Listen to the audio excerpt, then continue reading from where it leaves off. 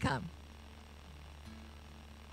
Father's Love has been an amazing blessing to the Shelbyville community. I have had the privilege of growing up in Father's Love and also getting to work alongside the ministry of Father's Love. And I've been able to see firsthand how it's impacted this city by bringing light into the darkest places, by encouraging kids that they have a voice, that they can hear God, and that they can exercise God's will into the city themselves. And it's been amazing to see how Father's Love has empowered our own kids in the community to then go home and share God's love and His light with their families and their friends and in their schools. And it's really been raising up young leaders in the community of Shelbyville um, to then go out and change our entire city, our entire state. And, you know, we have students that have grown up and now are ministering um, in other places around the country and the world. So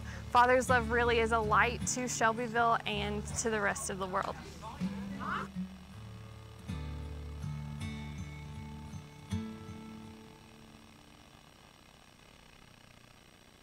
name is Stephen Riley. I'm lead pastor here at Living Waters Church. Uh, still good to be with you and with you online.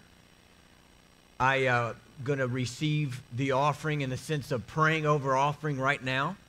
Uh, if you're here, we have uh, boxes in the back for you to uh, turn those in before you leave the building. If you're at home, we have the online services available, uh, uh, online you know, function on the website where you can give online. You also can give uh, by mail. But this Father's Love transition offering called Such a Time as This, that God has put together uh, in, in what's happening in the world and in our community, this is the year. This is the next few months where we transition le- uh, leadership from our founder, Miss Martin, into new and coming directors, the Terrells, a new, uh, broader leadership team. This is an appointed time by God. And so uh, uh, the elders and the deacons as a board are asking you as a church family to be praying about your obedient offering to the Lord on November 8th. Uh, you can be able to give online. We have a drop down menu that says Father's Love. So any giving from now through uh, that week of November 8th online for Father's Love will go into this offering. Uh, please don't give to the Facebook page of Father's Love if you're from our church, because that's a different fundraiser that the they're doing with the community into, uh, uh, in, into uh, the next few months. So we have, the board has three prayer goals. I'm asking you to pray with us as we pray over the offering in just a moment. Number one is a faith goal of $24,000. And then 6,000 more is the hope goal of 30,000. 6,000 more is the love. So faith, hope, and love. And the greatest of these is love, $36,000. God is able to do that. Through you, through who He prompts, He's able to do that. Let's pray over the offering and pray and begin listening how God wants us to give on November 8th. Lord Jesus, we know that giving from your word is the way that you bless us back. We know that's a way that you, Lord Jesus, uh, help us have your generous spirit in our lives and character. And so, Lord, in our weekly tithes and offerings right now, and and what we're giving regularly. Lord God, bless it for your kingdom, to expand your kingdom throughout this region and the world and Israel. And Lord, also as we pray toward November 8th, Lord God, Father, you know how to speak to us, you know how to guide us and provide for us. So we yield our ears to you that we can follow you and give obediently on November 8th. In Jesus' name, amen. Well, we've had some just rich ministry lately. Uh, and last week was that service dedicated to the Father's Love transition message you heard from Miss Marty, uh, a servant of the Lord that his, is um, retiring at the end of the year. She spoke, and then Gerald and Michelle Terrell spoke. And if you didn't hear that message, you need to get online and watch it or listen to it. It was so encouraging, and exciting about our future. And I have a message today that's been actually churning for a number of weeks, and it's called True Repentance. And this image is a powerful image for me. I grew up in the country in the, near the Blue Ridge Mountains of Virginia, and I know what cur- curvy roads are like. Just a few weekends ago, uh, our family went to the Ozark Mountains in Arkansas because it was close to Tulsa, Oklahoma, and I've got five Rileys who live in Tulsa, Oklahoma. And so we had a meeting place there to hang out for the weekend together. But those Ozark Mountains, I haven't spent time there before, but it they're rocky, there's cliffs, it's up and down and all around. It's some rough roads there and curvy roads, and I enjoy driving curvy roads. It reminds me of my days growing up in Virginia, out in the country on those curvy roads. But if you notice, like in that image, and if you notice, a curve is there for a good reason.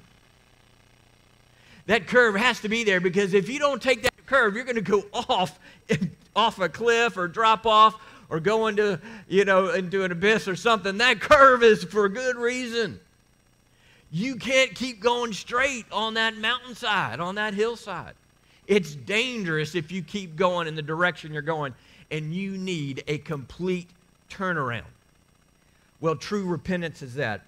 In this message today, is really dedicated to us uh, as part, as American citizens, praying for true repentance in our nation. Then our nation doesn't keep going the direction it's going in, but it takes a complete turnaround and goes in a new direction toward God. I have felt the heaviness of this uh, need for repentance in our nation, in the body of Christ. I have uh, been walking in this and want to continue to do this, but I want to tell you yesterday, I got a dose of peace, of the peace of God that I can't quite explain. And I don't know if y'all are praying for me or it's just God's grace or things I've been doing before the Lord, but I did wake up with a song on my heart, one of those new songs you guys were talking about. And usually I just get like a phrase or one line. I don't know the title of the song. I can't sing the whole song. It's a little frustrating. I try to you know what is the name of that song. I want to look it up. What's it? But I just had this this one sentence kind of going in my spirit all morning long, and I just had shalom on me all day.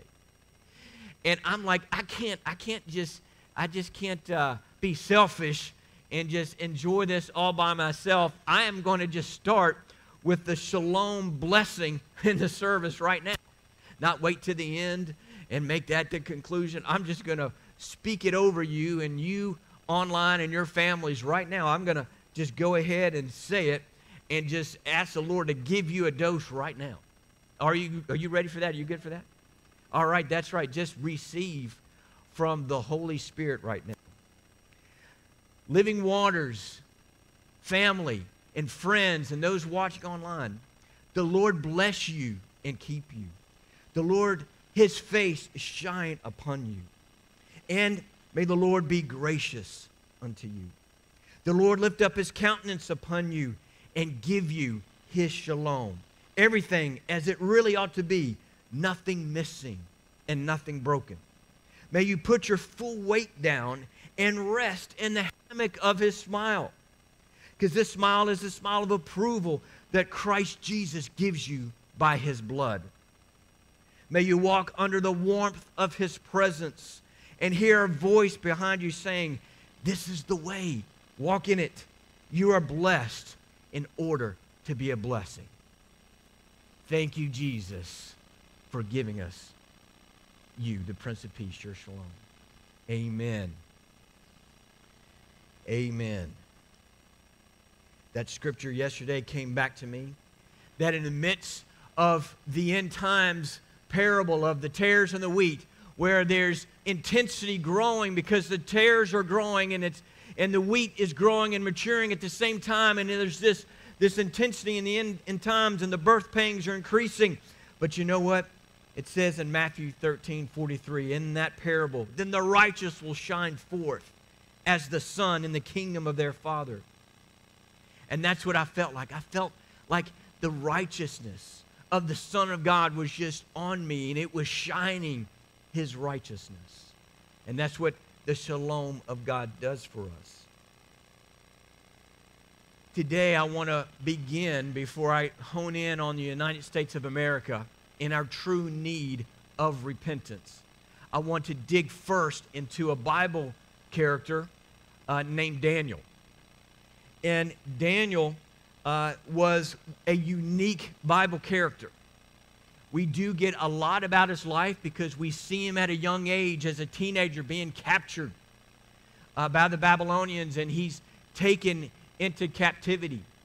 And, um, and, and he's, uh, and his friends at a young age, they fast and prayed and not just do the customs of the new culture. And God honors them and honors that. And, and so from a young age, we see him just being obedient to Lord. He can hear God, and he got visions and interpreted dreams uh, for the king, and God brought him in prominence. But there's something about Daniel that they couldn't find any flaw in him in his character. And that's when the whole lion's den thing happened. They're trying, how can we get him arrested? How can we, uh, so he can get thrown in the lion's den? And, and they, they had to outlaw prayer because he, they couldn't find anything wrong with this character. Usually, when we get into the life of a Bible character, the story gets detailed enough where you do find out sins or mistakes or failures in their life. But, but some reason, he was stable enough or whatever. God doesn't reveal that in Scripture. We just know he was consistently obedient to God through his whole life. And sure enough, he was in the lion's den. And, and that, you know, incredible miracle where the, the lions' mouths were shut. And he lived through that. And those who set him up uh, were thrown in the lion's den. And they were actually very hungry that day and, and took care of that very quickly. So I'm going to take you to Daniel chapter 9. And we're talking about experience that Daniel had in prayer. And we're going to learn some lessons about prayer. And I'm going to use the bigger word intercession when you stand in the gap for someone else. You're not praying for yourself, you're interceding for someone else.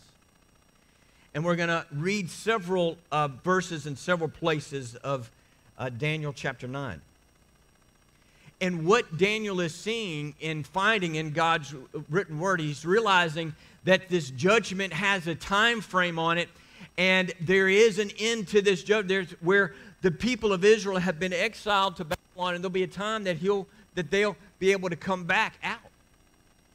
And he's realizing that, wow, perhaps uh, if we were a holy people, this can come to pass and God would have mercy on us. And so listen to how he prays, and we're going to read verse 5 and 6 of Daniel chapter 9, starting off. He says, We have sinned, committed iniquity, acted wickedly, wickedly, and have rebelled, even turning aside from your commandments and ordinances. Moreover, we have not listened to your servants, the prophets, who spoke in your name to our kings, our princes, our fathers and all the people of the land. Did you hear that? Did you catch what was unique about that prayer? Daniel prays like this, and what he does, he uses the pronoun we. He uses the pronoun us and our sins. In this chapter, in this long prayer, and we're not going to read it all, but it's 19 times he refers to us and we and our sins. And this is a key to intercession for others. This is a function. This is how godly people pray for others. It's called identificational repentance, where we identify with the one who's away from God, who's lost, and we just join in with the, the humility asking and for repentance and mercy. See, when you pray for a loved one, a son who's away from God, your heart is so humble and desirous for this loved one, this granddaughter, this uh, family member, this brother, sister to get right with God. Your heart humble and says, God, oh, please have mercy. Don't let them uh, continue in this darkness and bondage. And your heart gets in a place of humility that you cry out, and Lord, anything that I've done to contribute, please forgive me, forgive us. Lord, forgive my fathers, my forefathers. And you want to rebuke generational curses and sins that pass down. Let me tell you, we get cleansed, not just us, but our generations before us. This is one of the functions of repentance and intercession. Let's keep reading some more from Daniel, jumping down to verse 13 and 14. Verse 13 says, As it is written in the law, law of Moses, all this calamity has come on us. Yet we have not sought the favor of the Lord our God by turning from our iniquity and giving attention to your truth. Therefore, the Lord has kept the calamity in store and brought it on us. For the Lord our God is righteous with respect to all his deeds which he has done, but we have not obeyed his voice. Now, Daniel did obey his voice. Daniel was faithful in prayer. Daniel received visions, prophecies, and dreams. But he takes this repentance on and says, We have not obeyed his voice, your voice. This is the nature of where I am I am speaking to you today that I want to take us to where when we pray for our nation, for our community, we don't point the finger at their sins, but we humble ourselves and just say, Lord, it, this is a result of our fathers and forefathers. This is a result of the leadership of our community, of our nation. Lord God, I am part of this community. Tim Keller is a well respected preacher in, in the evangelical body of Christ. He's um, uh, in a Bible scholar as well. Um, and I heard him address this recently on a, a, YouTube where he was speaking at a conference. And he uh, makes just very clear that the modern Christian world is so individualistic that we just tend to, yeah, I'll repent, I'll confess my sin, sure. And we can take on the individual responsibility of our lives, and that's a good thing.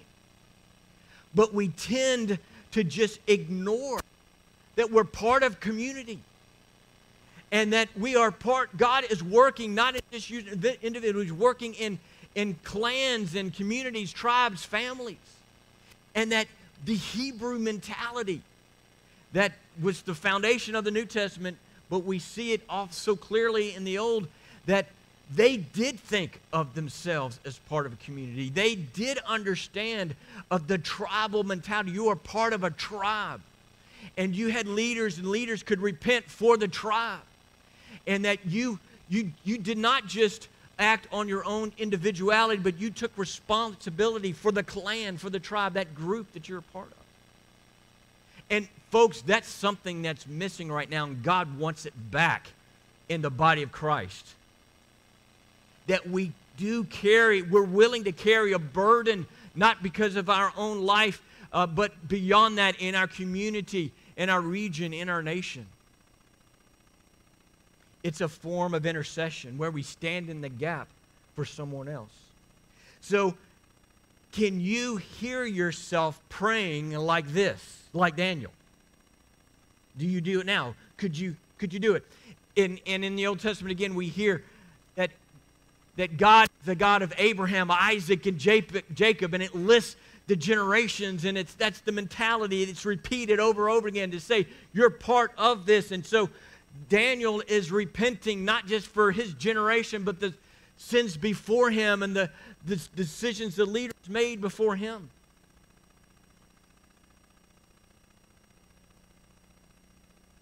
It's the way, the mindset that God set in biblical culture.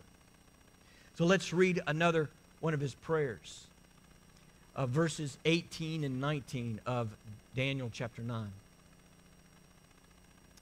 He says, Oh my God, incline your ear and hear. Open your eyes and see our desolations in the city which is called by your name. For we are not presenting our supplications before you on account of any merits of our own, but on account of your great compassion.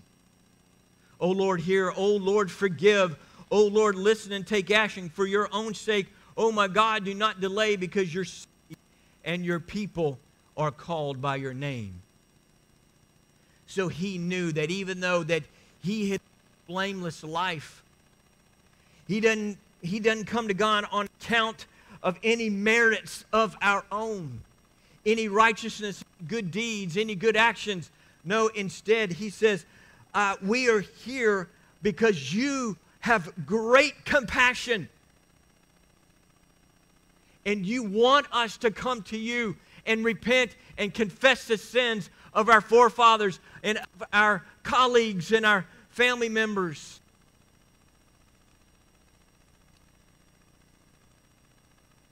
Can you imagine yourself this week praying like this, using these ours we pronouns this week in your prayers?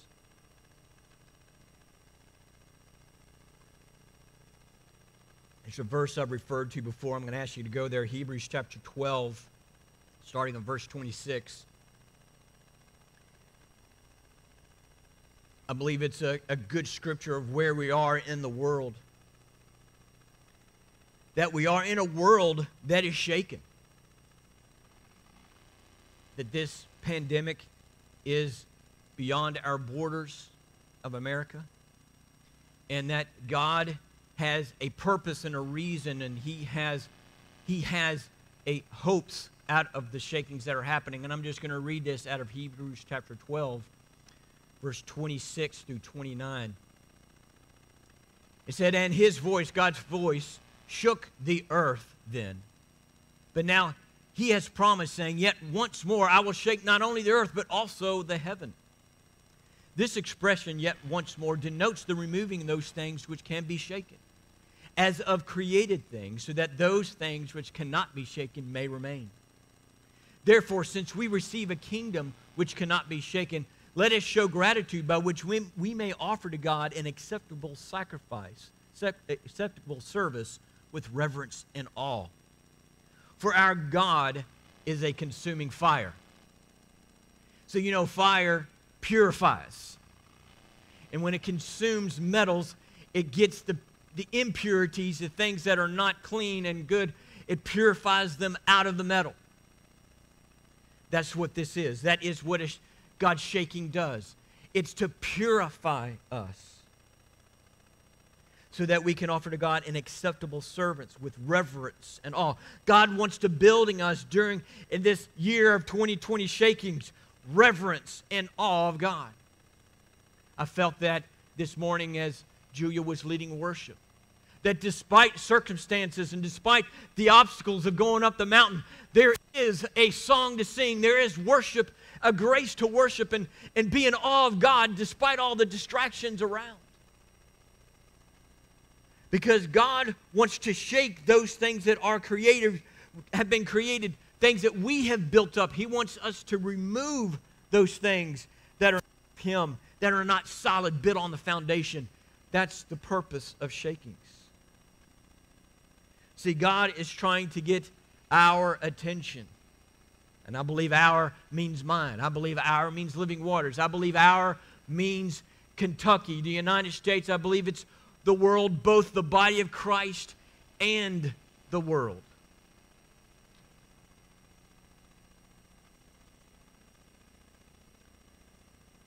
I believe shakings begin with the body of Christ and it's our response to God that inspires the, the, those in the world to see, wow, look at this. They're not driven by fear. They don't live in fear. They have a peace. They have, what's this shalom thing you talk about?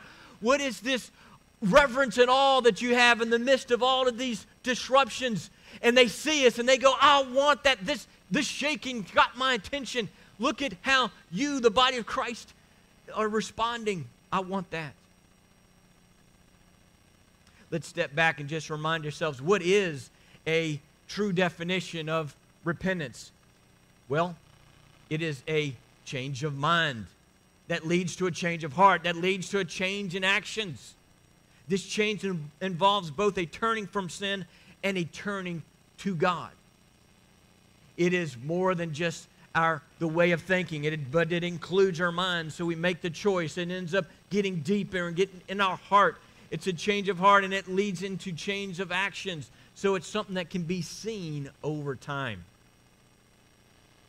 It's a turning away from darkness and turning toward God. And thank the Lord for that scripture. He uses anything to get our attention. He uses shakings, He uses the conviction of the Holy Spirit. And as the Bible said, that His kindness leads us to repentance. And I feel like we've got to realize it is God's loving kindness, it is His great compassion that anything that He does is He's motivated. That's what He's motivated by. Jonathan Cahn has uh, really arisen as an author in the last uh, number of years with Harbinger 1, now Harbinger 2 books and other books he's written.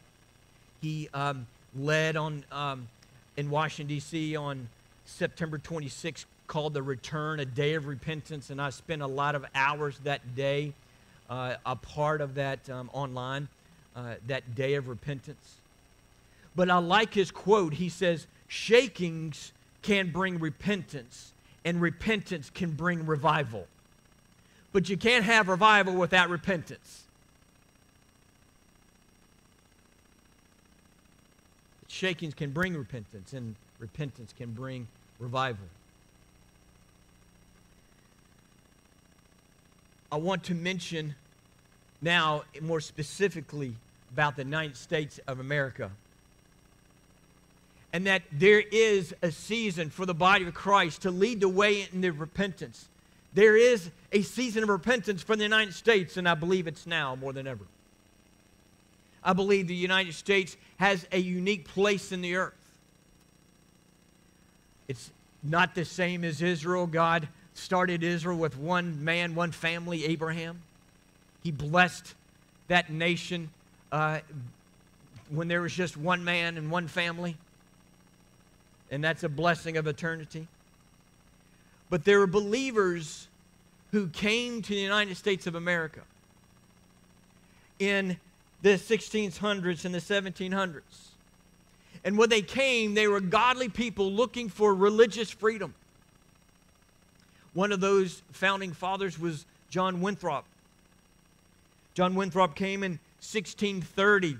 Puritans. They were uh, went into the what's called the Massachusetts Bay today. And he proclaimed that this land would be a city uh, on a hill lit and a city shining for the earth. He proclaimed that the, the blessings of God that were on Israel will come to this nation.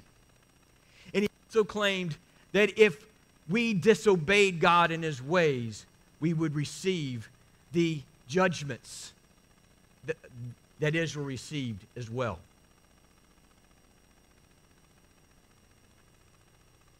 Another founding father is George Washington. In 1789, he was his inauguration was right there at where Ground Zero is today in Manhattan.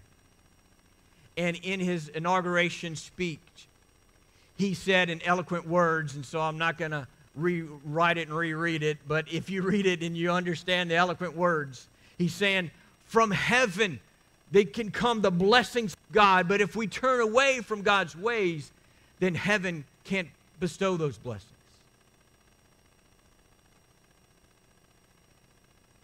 He and the congressman walked to the church next door, St. Paul's, that's still standing today protected by, uh, no, I'm sorry, I might get in the church mixed up on the, which of the churches are. But anyway, the church, you know, it was St. Paul's is still standing today, but that church, in that church, after the inauguration, George Washington and Congress went in there and knelt and dedicated the country and in prayer to God.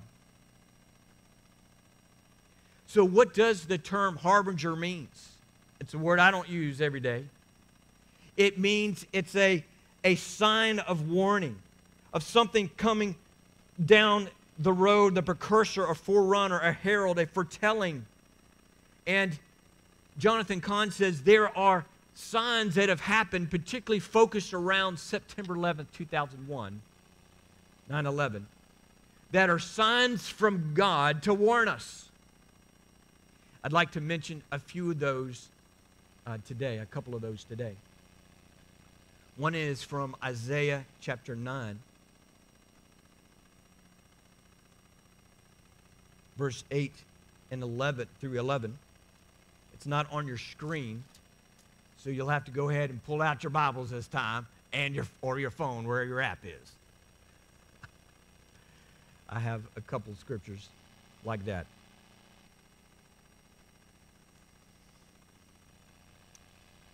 This verse, let's just read it first. I'll tell you how it gets tied in to current day America. But verse 8, the Lord sends a message against Jacob, and, it's fall, and it falls on Israel. And all the people know it. That is, Ephraim and the inhabitants of Samaria, asserting in pride and in arrogance of heart. The bricks have fallen down but we will, re, but we will rebuild with smooth stones. The sycamores have been cut down, but we will replace them with cedars. Therefore, the Lord raises against them adversaries from Rezin and spurs their enemies on. This verse is a verse saying how Israel responds to calamity or judgment, and they respond in pride and arrogance and say, we will rebuild. And we will uh, build with smooth stones, and we'll, where the sycamore has fallen, we'll put in cedar trees. Well, this verse, this verse was quoted by a congressional leader on September 12, 2001, out of our Capitol building in Washington, D.C proclaiming, and maybe he didn't realize it, but this, out of a spirit of arrogance and pride, we can rebuild without God. We can do it ourselves. At ground zero, there's a tree that was destroyed. They have the roots of that tree displayed. And in that place of that tree was planted a very large Tree of Hope was the name of it. It was a cedar tree. It started dying. They didn't know why. They would prune it. They would try to they would try to nurture it. And it took about I think 11 years, but this tree just kept dying and they just got rid of it. And there's no tree there today.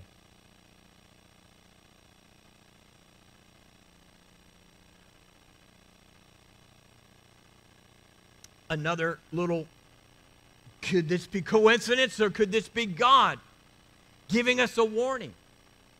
How many of you have heard of the one year Bible that came out in the 80s? One year Bible is just a reading plan of Old Testament scriptures, Psalms and Proverbs and New Testament scriptures that you read each day, and they spell them out for you so you work through the whole Bible in a year. But you read a little bit from the Old and from the poetic literature and New Testament. And back in the 80s, this became popular. You can look it up today and you can read it on, you know, just get the reading plan. You don't have to buy the book, you just get it online. Well, on September 11th includes Isaiah chapter 9. Coincidence or not, folks, I'm just telling you, we're seeing repeated signs that God could be saying September 11th was a God is using that to be a forewarning to America. Please repent. Have true repentance.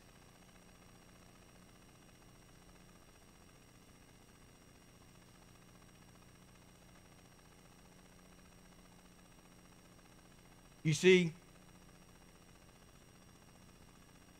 I'm struggled with the question, more than one question, but a couple questions in the last six months, in the last few weeks, in the last just during this whole time of the pandemic, our civil unrest, is God, could these be judgments from heaven? Could these be judgments from heaven? And I have struggled with that, and I, I didn't want to talk about it. I didn't want to raise it up. I didn't want to. I get in conversations with friends and individuals to, to help me dialogue and dig, dig deeper. And I'm just being honest, it's a hard question to ask. I want to say this about God's judgments. If there is God judging something, His Spirit is at work, coming out of a compassionate heart where His goal is that none perish, but all come to the knowledge and the salvation of the Lord Jesus Christ.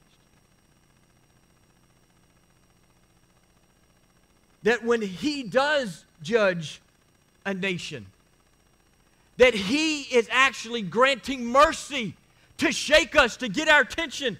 You need true repentance. If you rem- recall back in 9 11, 2001, there was a flood of people going back to church. There was a lot of good that happened for a number of weeks and months. But the nation as a whole seemed to get back into routine as usual, and the morality and the sins and the, of, our, of our culture just got deeper and deeper and farther away from God in these last 19 years.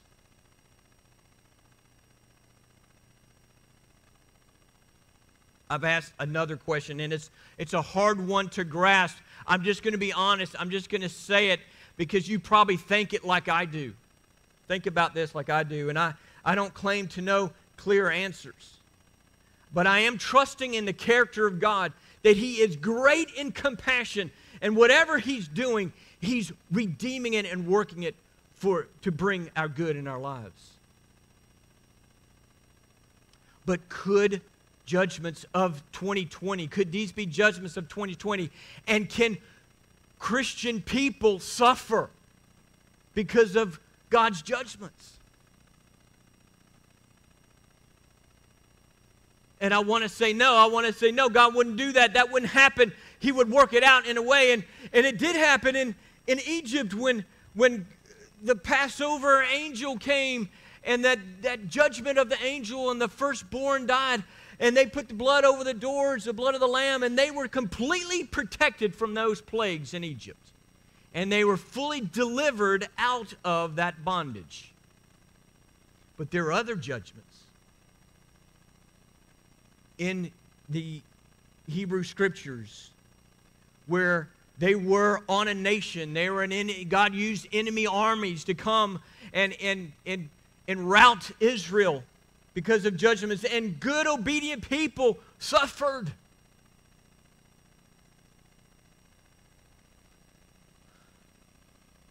So I can't find it one way or the other. I can't get to a proof, a text and quote it and say, I know this this is the answer for sure. I can't go there.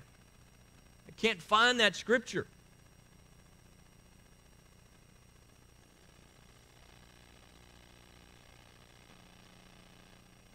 Talking about the pandemic.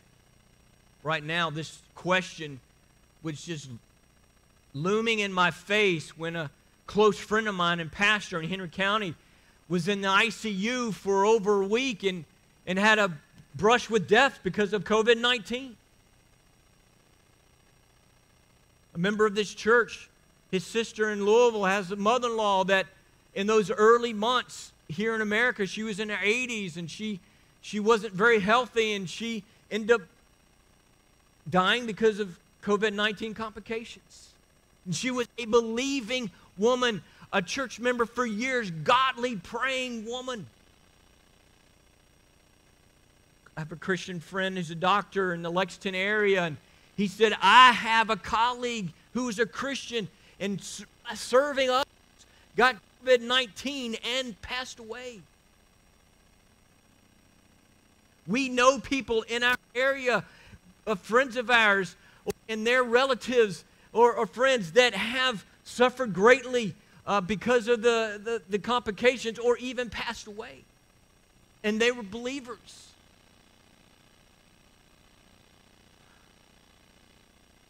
God, I don't like that. I don't like how this is fitting together. It's hard for me to put it together. Lord, please awaken us. Let these shakings be effective. Let us not be like 9 11 and we just drift back into our old ways and get distracted. Remove the things that are created that keep us from the awe of and the awesomeness of God.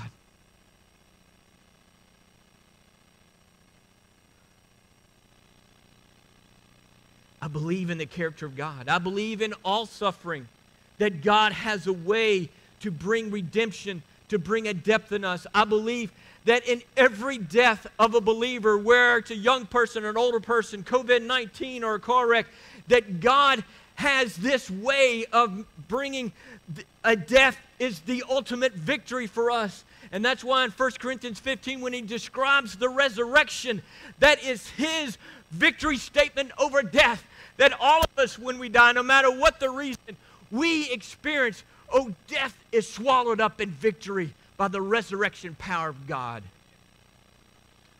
And we experience the eternal home that we've always longed for and we've always wanted.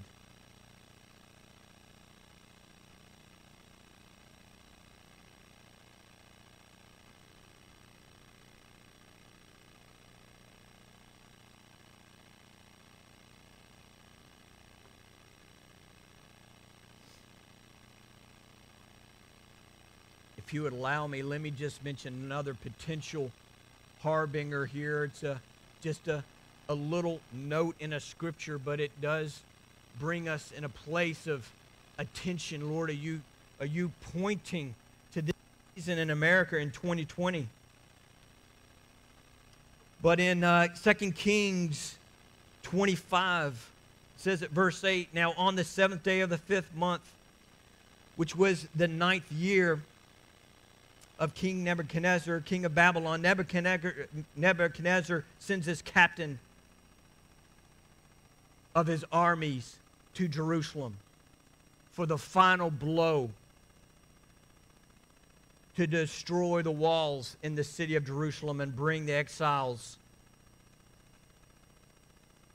out of Judah, the southern kingdom, and to Babylon. So, this is where in Scripture Babylon destroys Jerusalem. And Jonathan Cahn says that this 19 year is significant. And if you look it up earlier in chapter 24, and when Nebuchadnezzar first comes to Israel, he puts in subjection the king of Israel. And that king and subsequent queen, kings continue to do evil. And Nebuchadnezzar sends these waves of attacks to Israel until in the 19th year is the final attack to totally exile the Jews out of Jerusalem and take control and destroy the city of Jerusalem, only leaving people to take care of the land and he says, Folks, we're at the 19th year. September 11th, 2001 was a harbinger, it was a warning sign, and here we are in the 19th year. This is a season of repentance for the body of Christ and hopefully for the world.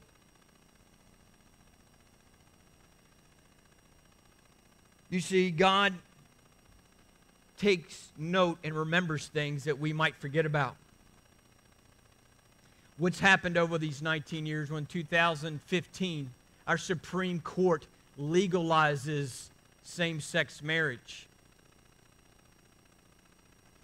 And if you have felt it like I felt it since 2015, that, that incredible day, that incredible week, I, I felt just the, the release that our government was holding back uh, this perversion, and now we see it on children, where children are being encouraged uh, all the way down to, to transgender at eight years old or whatever parents do today. It is just, it is heartbreaking to see this release of perversion out since 2015.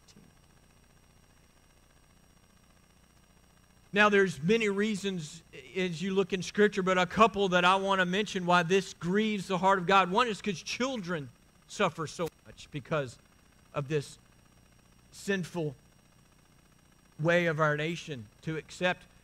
Children need a husband, uh, a mother and father, a marriage to see God clearly, and that's why when Genesis, when He said, "I," God created man in our image, in the image of God. He created them both male and female, and that marriage and that parenting is what how children see the character and nature of God. But it's an affront to God Himself. Because God created marriage, male and female, and it's been that way for all civilizations to understand what marriage is. This marriage is what He identifies His love for His people.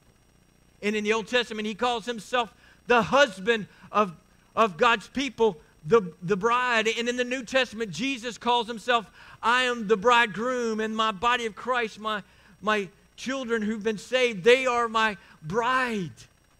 And so it's an affront on his romantic love that he set up before us to see physically to remind us of his love for us. And yet, when I say how this breaks the heart of God so much, he loves a homosexual, a lesbian, just as much as you or anyone else or me. That uh, breaking of the sin does not break his heart for the love and the com- greatness of compassion for that individual.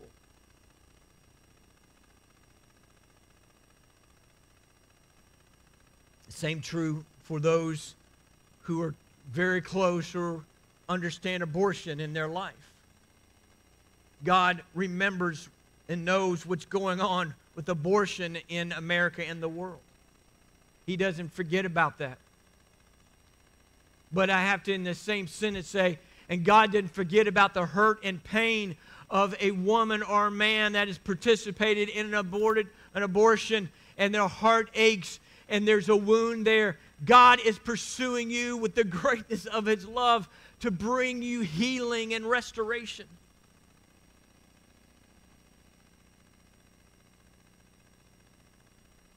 In 1970, New York City, excuse me, 1970, New York, the state of New York passed abortion on demand.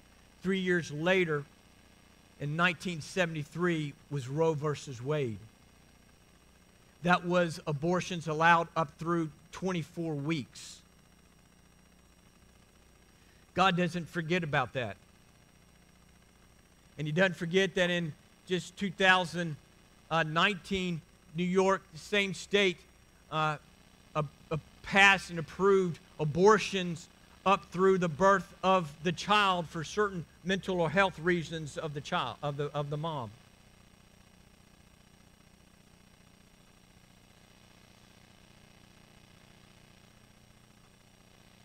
We're at around 62 million babies that have been aborted. God in the scriptures over and over again judged nations, and Israel was one of them that had child sacrifice and innocent blood was shed on their nation. And you can argue, and I wouldn't, you know, fight you on this, but child sacrifice and abortion is not exactly the same thing.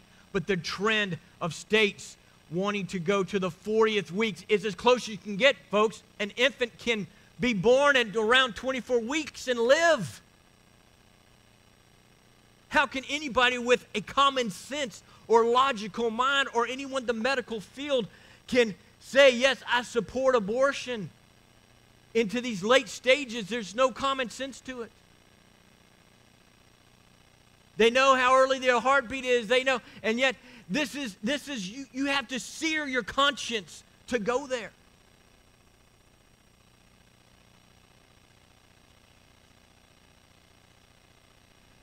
Is this an open door of mercy that God is granting us?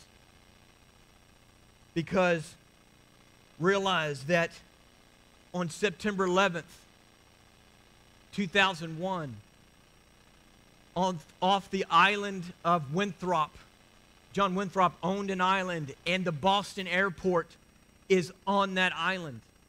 That that's where those planes and those pilots left on September 11th before that great and horrible day. And that was the place that was declared we will receive the blessings of Israel. Hallelujah. But if we disobey God, we will receive the judgments like Israel.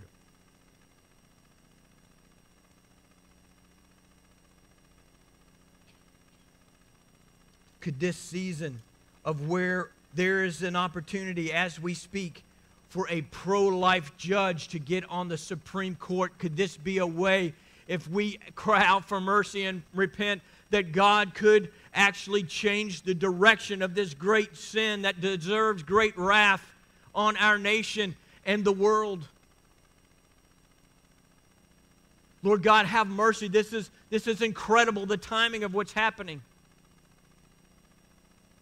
Now, if you know more than I do about how all this works out in, in the judicial branch and the legislative branch, but I understand it, even though um, uh, Judge Amy Barrett may get uh, on the Supreme Court very soon, it's not like the next day they take a vote in reverse Roe versus Wade but a court case has to get to the Supreme Court that would deal with that issue, and how many months or years will that take?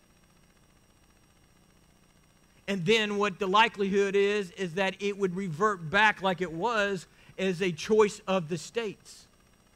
And right now, roughly, if you look at it, about half of our states would get more protections and would pass laws to be more rigid about abortion and protect the unborn child, but about half would go the other directions, like New York. And so, even after that gets released from the Supreme Court, there's still great battles ahead. What is that going to look like in our country? Lord God, have mercy.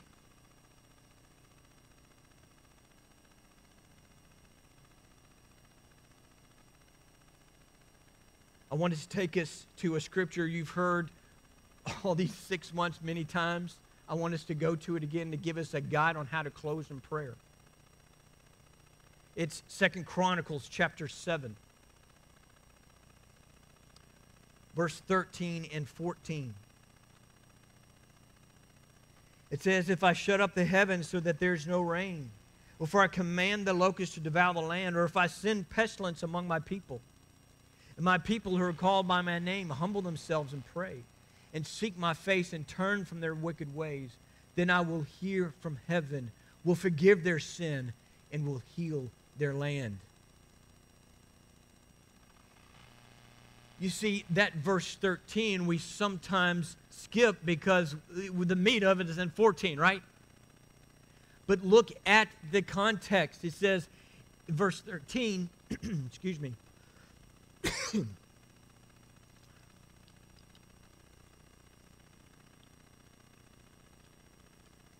if I shut up the heavens so that there's no rain, or if I command the locusts to devour the land, or if I send pestilence among my people.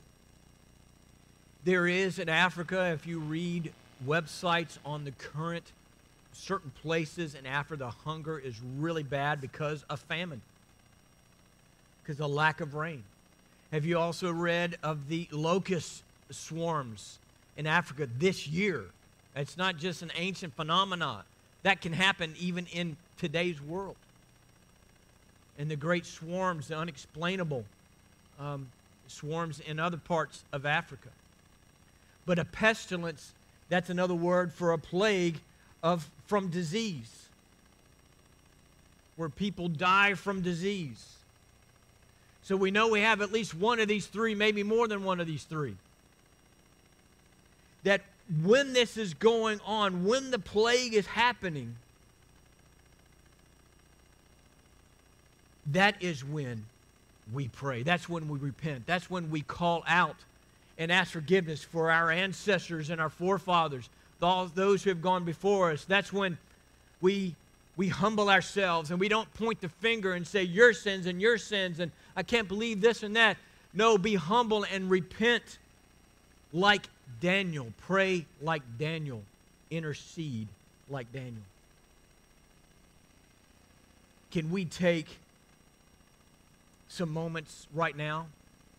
If Julia and the praise team could come back up and, and just bring us in a place of seeking God.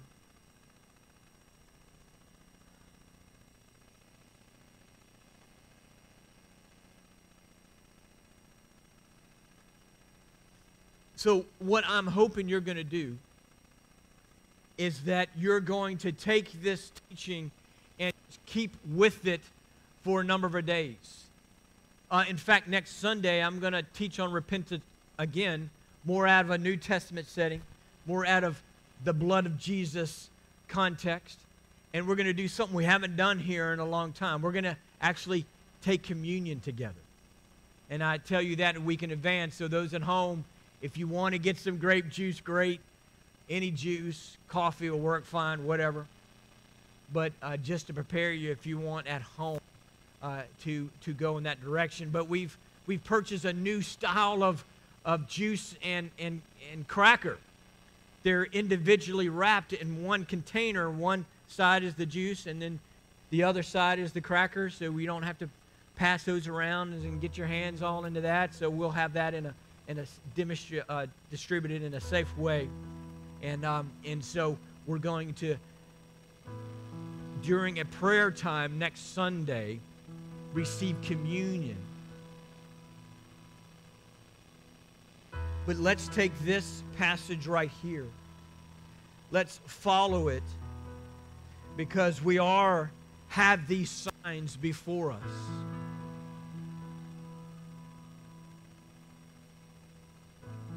So thank you, Lord, that we are people who are called by your name. That we have, Lord Jesus, in us. We're marked by the name of Jesus Christ. And we have your name. We humble ourselves. And that's something that sometimes we struggle with. I really don't feel like repenting. I really am not convicted about anything. Well, listen, Humble yourselves for the sake of others, for the sake of our nation, for the sake of our community. Humble, you initiate it. Don't wait. Well, I don't really feel convicted. I really can't get into this right. You know, not, i feel like I'm okay. This is an intercession for others. You choose and you humble yourself to step into this. Lord, we are called by your name. We humble ourselves right now.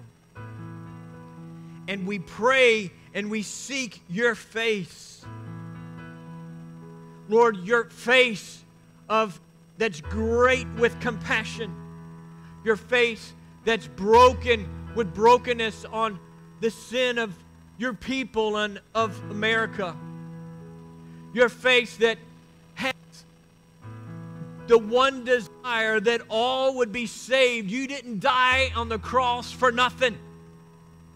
You didn't die on the cross and suffer that so that just any old person would go to hell. No, God, you've made the way a great and painful way through the cross. And so we seek your face, Jesus. And we turn from our wicked ways. Lord, the ways and my motivations that are selfish and focused on myself. Lord, in ways and, and bad habits that just serve me and me only.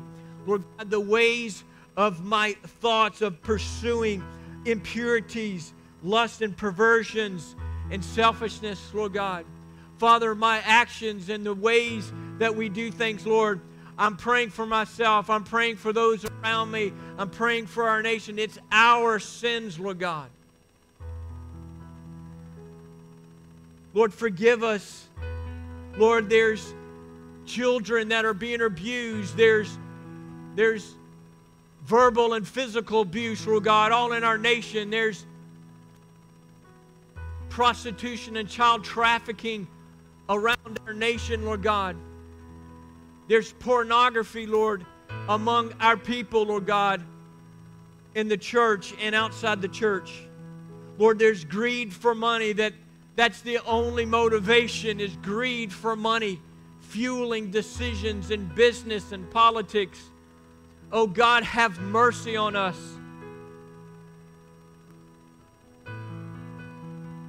Lord God, there's greed for power, Lord, in position in our in, in the companies that we work in and the organizations that we're in, and there's there's abuse of, of control, Lord Jesus, for self. Have mercy on us, Lord God. May we be people of justice, people of humility, Lord God.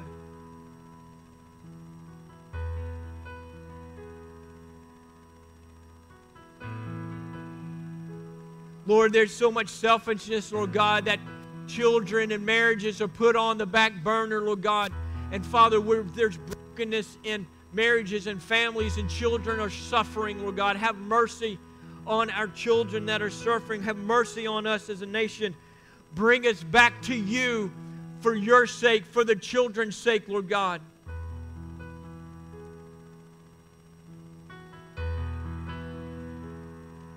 Lord, this possible appointment of Judge Amy Barrett into the Supreme Court and, and future Supreme Court appointees, Lord God, Father, we're asking that you use our judicial system, our, our, uh, a, our legislative systems, Lord, our executive branch, all of it to protect the unborn, Lord God. Bring us away in our nation that we don't continue with the thousands and millions being uh, the innocent blood being shed all over our country, Lord God. Bring ways, bring righteous leaders, Lord God, that would protect the unborn, Lord God. Have mercy on us. Don't let us stay in this path, Lord God. Turn it around, Lord God. Our hearts want a turnaround from this shedding of innocent blood, Lord Jesus.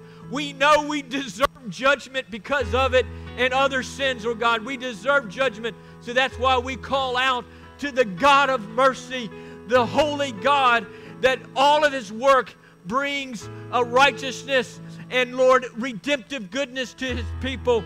Lord Jesus, we call out to you because, Lord, suffering is tough and hard, and we need help, and we need you to redeem our sufferings, Lord Jesus, that we can look to you in all things that are disruptive and are, are, are painful and are difficult, Lord God.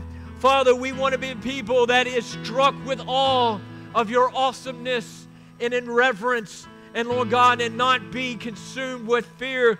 We don't want to be a body of Christ, the bride of this glorious, glorious groom Jesus that loves us so much.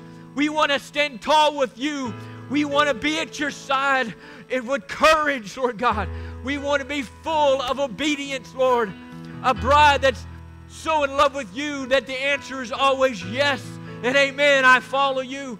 Lord God, we want our romantic love for you to be so real and powerful that the disruptions of our world and community cannot keep, way, keep us from prayer, keep us from worship, and our hearts yearning for you, Lord God. We want to be a first commandment people that we love the Lord God with all our hearts, mind, soul, and strength, and we continue to obey you in the second and that the second is like it, that we love our neighbor as yourself, as ourselves. Lord Jesus, Lord God, purify me, purify living waters. Lord, may your consuming fire purify us, Lord God. And we know consuming fire is not always fun, Lord God, but we want to get rid of that impurities and that dross, Lord God. We want to be a shining metal before you, Lord. Father, we ask, Lord God, that this cleansing in the body of Christ at Living Water spills over to others, Lord God, and people will humble themselves before you and repent. Lord, we believe the body of Christ. Lord God, we pray we don't we, we stop pointing fingers and we, Lord, put our attention on humility, crying out to a compassionate, merciful God. Oh Lord Jesus. Oh Lord Father. Lord, we thank you that humility, worship, repentance is effective and part of spiritual warfare.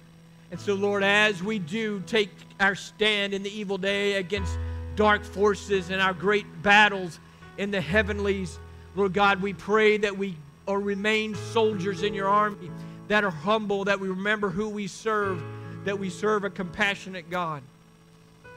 Lord God, thank you for purifying us. Thank you, Lord, that your word is enough I'm going to ask the worship team to lead us in worship, but I'm going to go ahead and give you a blessing into the week. Oh, Lord Jesus, as we wait on you, that you we ask that you do help us humble ourselves and fulfill the scripture of prayer in Second Chronicles 7. And Lord, we also pray that your grace would be more than, more than enough. That we would shine like the sun with the righteousness of your Son. And that your shalom is over our spirit, soul, and body this week. And Lord God, with that, Lord God, others would be blessed. So good to be together. Have a great week. See you again soon.